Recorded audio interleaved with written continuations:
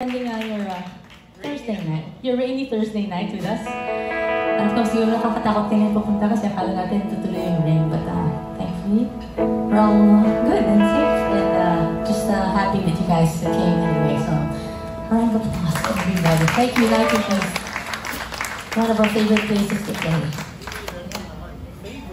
Favorite place to play. The one to play. This is Karel on the bass.